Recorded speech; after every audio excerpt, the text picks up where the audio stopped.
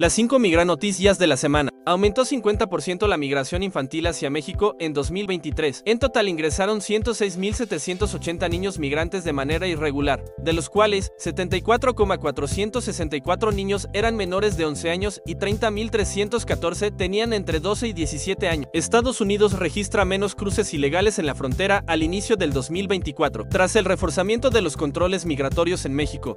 La reanudación de vuelos y autobuses para regresar a los migrantes a sus destinos de origen. Aumentó la migración china hacia los Estados Unidos. En los primeros 11 meses del 2023, más de 31.000 chinos fueron detenidos por labor de patrol.